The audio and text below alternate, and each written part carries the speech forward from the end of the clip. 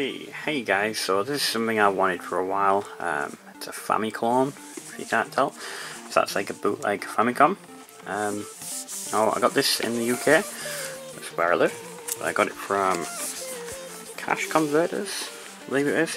No, I didn't pay $49.99, I think I paid about 30 quid for it. Um, I actually paid 40 in the shop because I got a broken DS as well. Um, I only really got off the Game Boy slot. But yeah, um, so I've always wanted a Famicom just because I don't really get see the point of me getting a uh, Famicom itself. More so because I have the original NES, um, I have one of these cheeky bad boys, and I've got the NES Classic, which is also hacked. But I did want a Famicom, or at least a clone, which had a good likeness to the original, um, to be part of the collection. So that's why I got this.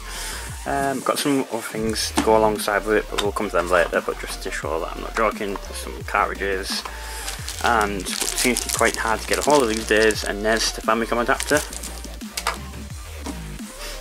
So yeah, let's look at the box. So FC Compact, uh, vintage. So it says there's what 88 games built in, and a cartridge. Uh, 30 year anniversary. What's that say at the top there? I have no idea. So yeah, that's the front. So you got 88 games. Um, unlike the Famicom, it's a four button one, so you got your Turbo Fire. Uh, can't tell what that's supposed to be. Maybe the audio video, who knows. And the cartridge on the side, just the red bar and the FC Compact Vintage, which is pretty much the same all around, although I do like the, the artwork being blended in. Um, the console itself. On the back, just a white box. So yeah, this has been opened. Mine was um, the last one in the store. Uh, it was a display console as well, so it has been opened. Um, I don't if that explains some of the slight damage I will mention, and I have turned it on to play it once just to test if it does work. So yeah, here's we get in the box. So we have the cartridge, which is 132 in one. Um, I can't read Chinese myself, so I don't know if there's any duplicates. I'm not really going to go through the entire the cartridge time. Um, on the back of that, so this is the cart that comes with the console. So just put it there a second.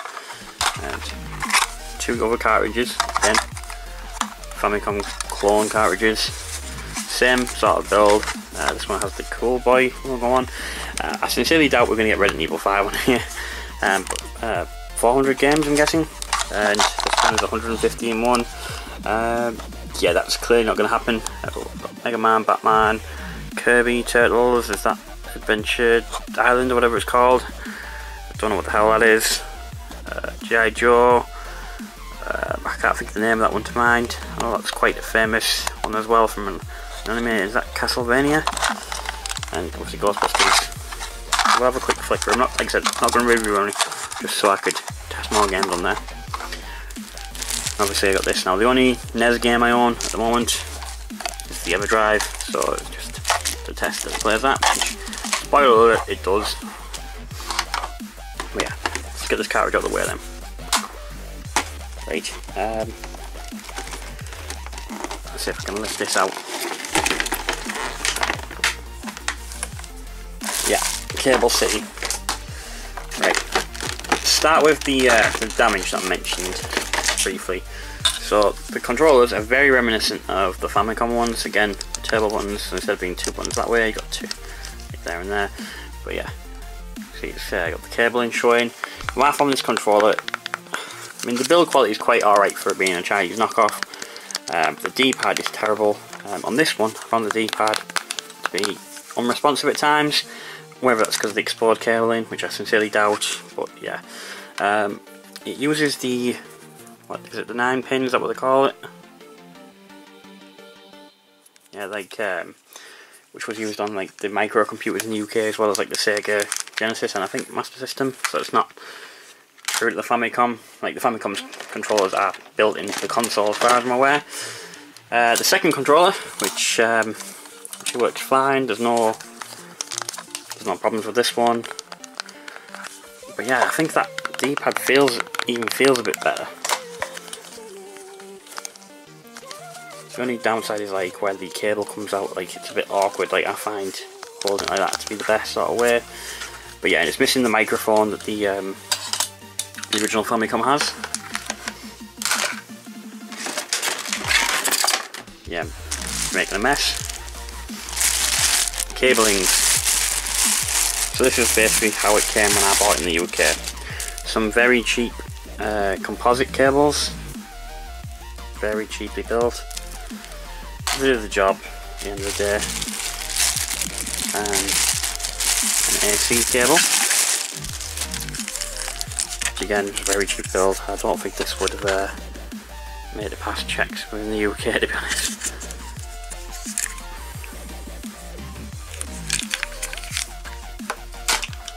Right. So, the console. Now I gotta say, for being a bootleg, that looks damn near beautiful. Like quite close to the original, and it's not a cheap plastic mold, it feels quite decent. Uh, obviously that's the, the main issue with it being the original. The eject button, so flip it up, see this little.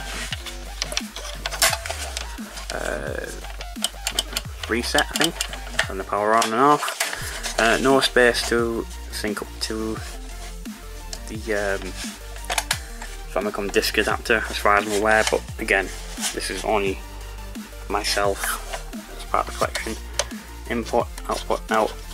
If I'm, correct if I'm wrong, but the NES just has video, one video one output audio. I don't know if this is just for sure Who knows? Um, but yeah, it's, uh, it's a nice little clone, and it does the job just as well. Like, uh, so on the Famicom, the, the controller's like side sliding sitting there. Like I said, I think it looks pretty good for it being a clone. Obviously there is a manual in there. Let's get the box out of the way. And as per usual, the manual is in Chinese. And it feels like it's made of uh, the tissue roll paper holder. Oh, we've got some uh, some English here, or um, there's probably some English, but I'm not gonna Not gonna dive into it.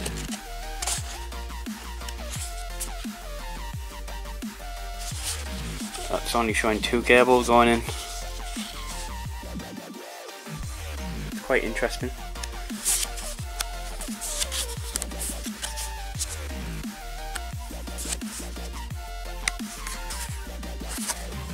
Hmm. Yeah, interesting. Um, sort of. So yeah, I was gonna do like some high quality capture of the footage. Considering it's a bootleg and it's using really cheap cables, I'm most likely just gonna point the camera at the TV. Um, so it claims there's 80 games built in, and then there's the 132 in one cartridge, the 400 cartridge, and the 115 one, and then we'll try the NES to Famicom adapter. I'm leaving the stick on to the front. When not in use, obviously I'm keeping this uh, plastic bag, which might be a bad idea. I don't know if that's going to build up static. But either way, it's just a way of keeping it safe. Considering I'm only going to ever use it with this console, I'm going to be keeping it in the box with the rest of the stuff. Uh, I think this is going to be like a bit too top heavy for um, the clone console It feels really, really nasty. I might uh, might plug that in off screen, but it's probably going to be one of the last things I'm going to check on there anyway. Well, that feels like it's in. It's got like a tight, snug fit to it. Um, yeah, that feels like it's going to be really top heavy. Maybe I need to find some to, some way to balance it. But yeah. Right, so catch you guys in a sec. Okay, so we're ready to turn on, I guess. Uh, it's probably going to be a lot of glare coming in the room as well, sorry. Uh, so yeah, I'm using the Play 2 pad just because it's like said, it's the higher quality of the, of the two. Um, don't quite know how I'm going to get this in shot. It fills the entire screen, which is a little bit of an issue. Um, yeah, I'm just going to pause again. I want to see if I can try and do something about the lighting. Okay, that's probably the best I can do for lighting wise. Um, so this is what happens when you turn the console on with no games in. Um, set the Chinese menu or the English menu. Obviously I'm going to want English. Okay, um, 501. that's different from what the packaging said. Uh, didn't it say it was 88?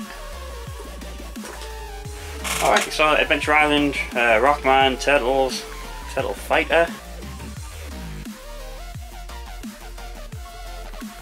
I always played Donny when I played this, just to get further reach. Well, I normally played like the arcade version or the Mega Drive version. Do -do -do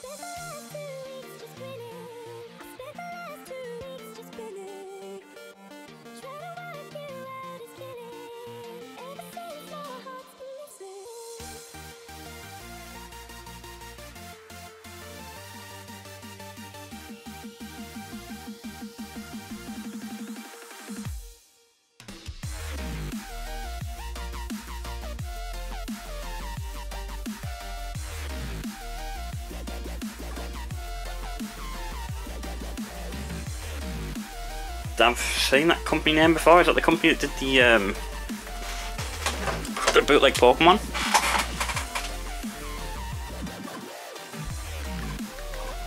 So we got Mega Man's. I don't know if they're all real. Dragon Fighter. What the hell is that?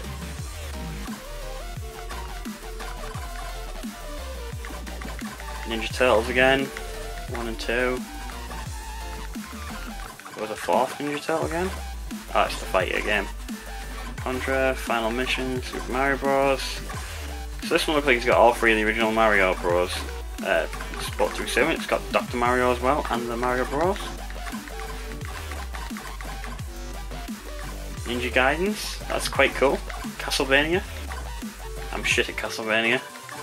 Double Dragons, Adventure Island, Kirby, G.I. Joe, Robocop 1 and 2. Uh, I can't. Is that one of the Space Sheriff games? Batman 1 and 2. Chip 'n Dale, Tiny Toon, Kickmaster, Terminator. Flintstones? Apparently that's like a really good game, or at least the rare game. I don't know. Never played it. There's that uh, game I couldn't quite recognise. Captain Tsubasa or something. Silver Surfer? What the fuck? Darkwing Duck? Lion, Lion King? I thought that was only on the 16-bit uh, generation. Captain America?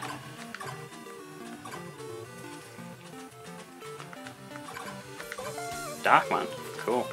Wacky Races. Jurassic Park. Oh, sweet! That's one of my favourite games on the uh, NES, if it's the picture telling the truth. SD Gundam, although that's a picture of Ultraman. Ninja, uh, Samurai Pizza Cats, Monster in my Pocket, Pizza Cat. Man, this cartridge is class. Punisher again.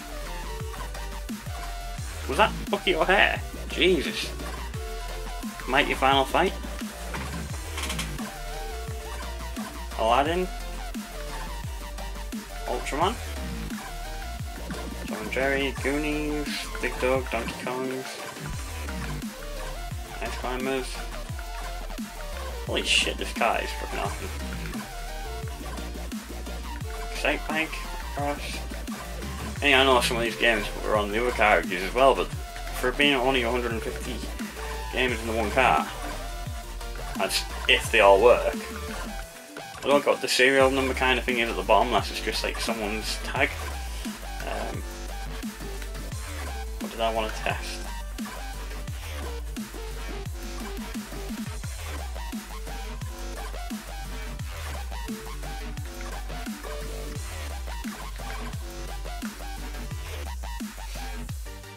Apparently this wasn't released in America.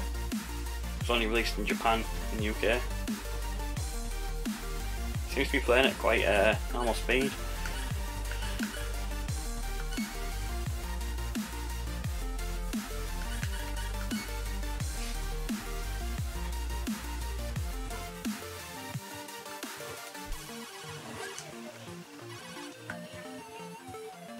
Oh man, this game is so cool.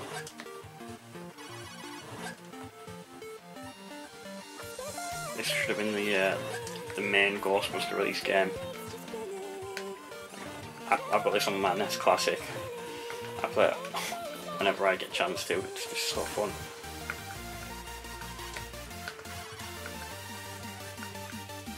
Oh, I'm dead.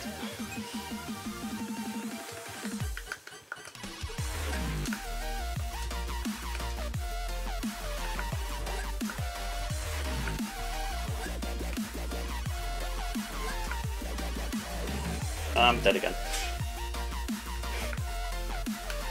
Because I play it doesn't mean I'm any good at it.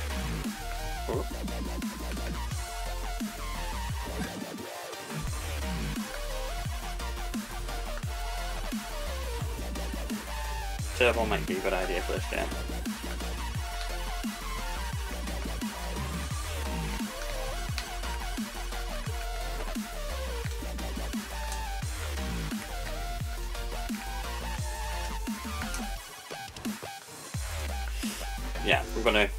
Move on to the next cart. So that was um pretty good cart.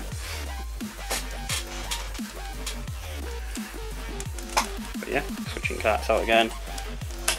Once it comes off, might now we're gonna probably eject in it. So now we're onto this one. There we go. Ugh, no good.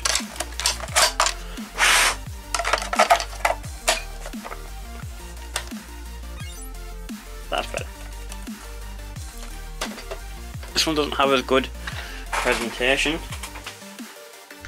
as the other ones. Um, I'm expecting duplicates. Final Fight 2? No, it's not going to be Final Fight.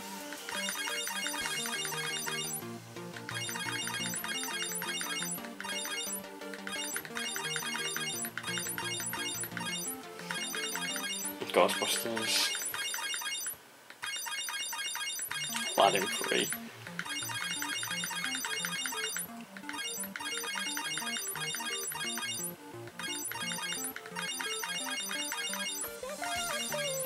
Tetris.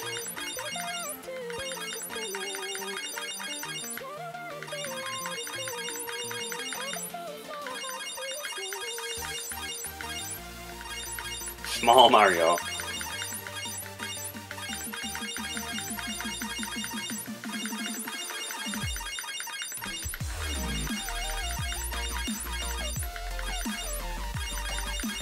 Think there's anything I really want to like test on it, which is quite boring. Just pop out of there. Wolverine? No, I'm not. Start him, we'll keep going. Jackie Chan?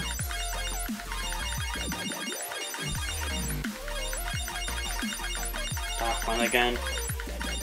Bucky O'Hare. Quite cool.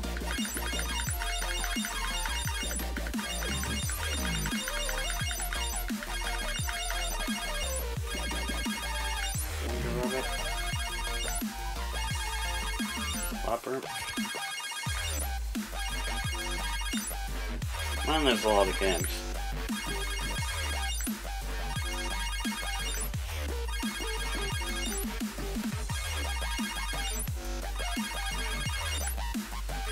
Hmm.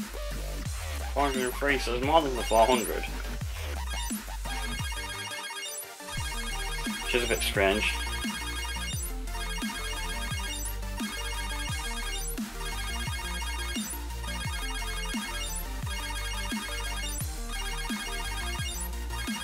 Noise is really annoying. I'm so sorry. Pikachu. Carmen. Uh, forgive me. What the hell?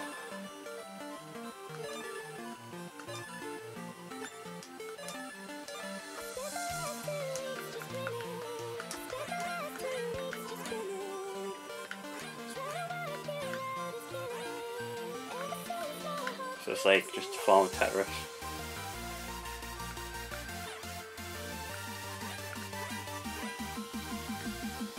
Pretty sure that Pikachu sprite is ripped from um, Pokemon Yellow.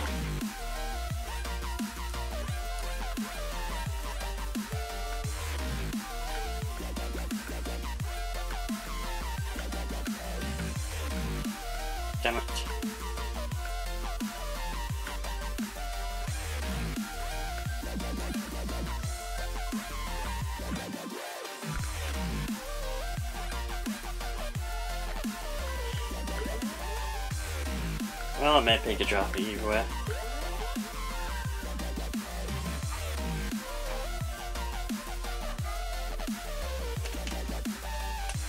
Right, so now I'm going to try something that I don't think is going to work. So, to try this. Uh, I don't trust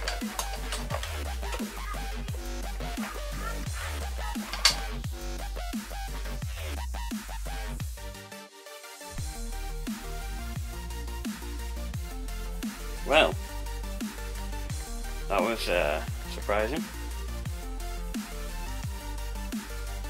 So it took a couple of goes, but it did start to boot.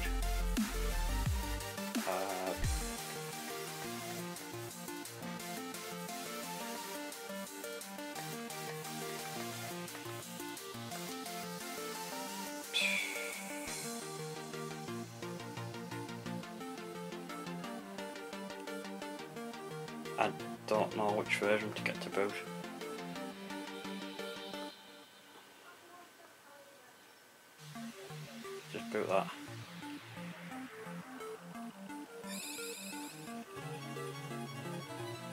Oh, well, now it's playing Jetman. I don't know what's going on here. Uh, there's quite a bit of corruption going on there.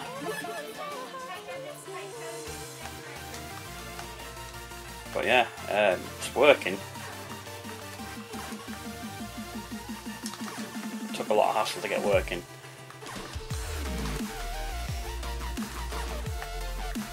It's one of the best of the uh, early Super Sentai games. Oh. Fact, I like balance the console on my knee and keep my finger on the cartridge to keep it in place. So I do need to get a shell for the, uh, the adapter.